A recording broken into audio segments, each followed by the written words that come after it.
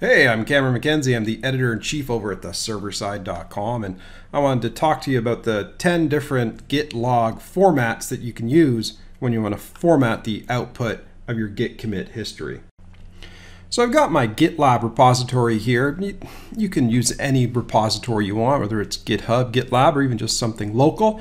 You can see there's a nice history of commits here. I'm going to head over to the repositories base and get the URL to clone it. So I'm to start this example right off from scratch. Open up the terminal window, and I'm going to do a git clone, paste in that URL,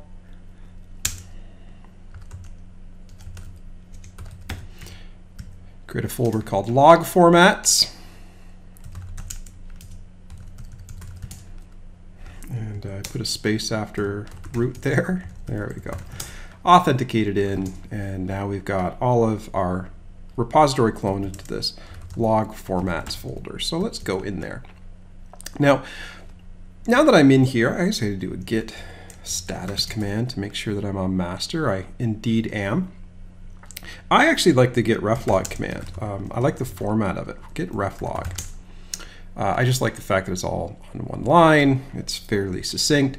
Now, the difference between git reflog and git log is that git reflog is only local, and git log uh, is everything. It's the whole public repository. So notice git reflog, I've only got one commit, and that's basically just pulling this code in here. If I do git log, you know, I get the whole history of commits, but I've also got this nasty format and I don't like the way you scroll down. And then to get out, you have to hit the Q button. Anyways, that's git the git log. So one of the things you can do with the git log is format it in a nice way. So you can say git log pretty. Now I'm actually going to uh, click return here that's actually not what I wanted to do, but I wanted to be able to just kick, click the up button and uh, bring up this option. If I do git log dash dash pretty one line, you'll see that I get a look that's very much like the ref log. I get everything on one line. It looks good and handsome. I've got the hash there. And so that's one of the git log formats. And you can actually just go git log one line and uh, just doing git log one line is almost the equivalent to doing the pretty one line. But as you can see, it kind of trims down the the hash a little bit, um, makes it look a little bit nicer. So that's a couple of formats. Now, what else have we got? So there's git log one line. I like that. There's git log short. That's handsome as well. And of course, you have to have the dash dash pretty in there. And so, as you can see, just the commit and the author. I'm going to quit out of that. Um, I guess you could do git log pretty short, say one line. I don't know if that makes a big difference. Um, what else we got? If you don't like the short, you can always go medium.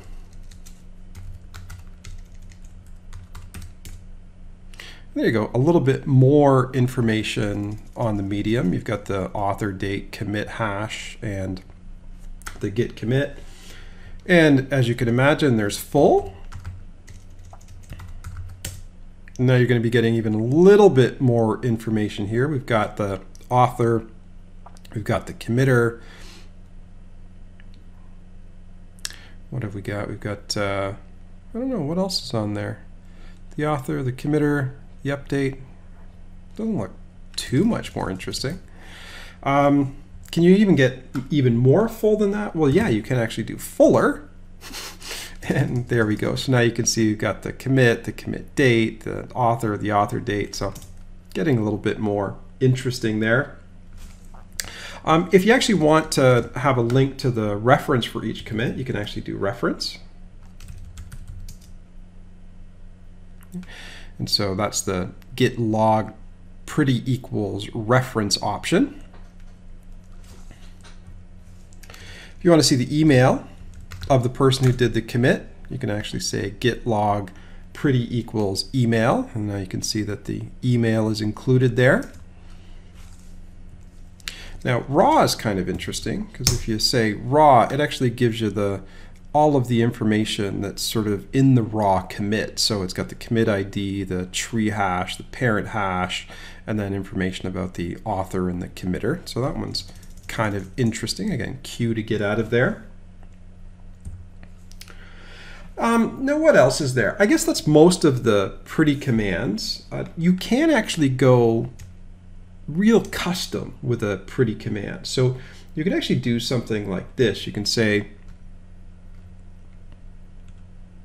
git log pretty and say in yellow, I want the word to hash be printed out, and then percentage H means do the hash. Then in blue, percentage C color blue, I want the date to be, and then percentage AD is the um, author date, and then percentage C is red, I want the message to be percentage S, that prints out the, the message, and then I want the date in the human readable format.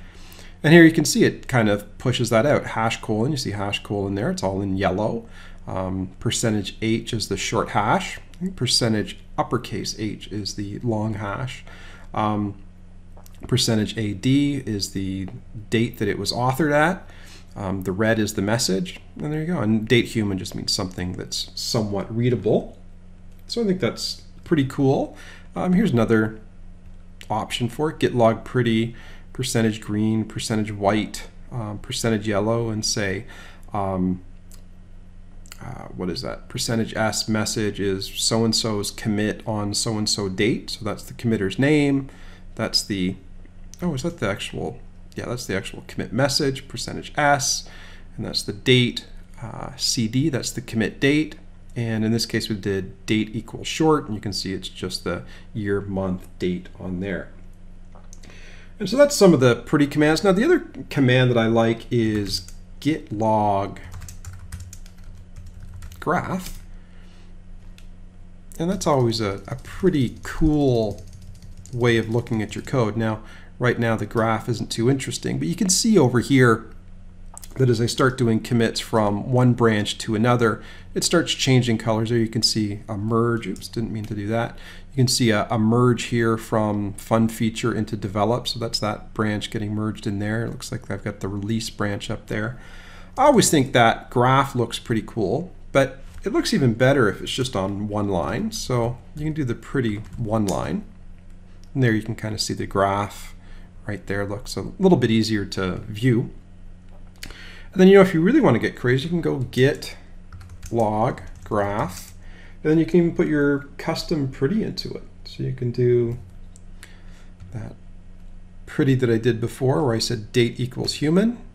And you can see you get that nice pretty graph here and then you get the information formatted the way that you want it to be formatted according to that that pretty regular expression. I guess it's not a regular expression, but that pretty content formatting.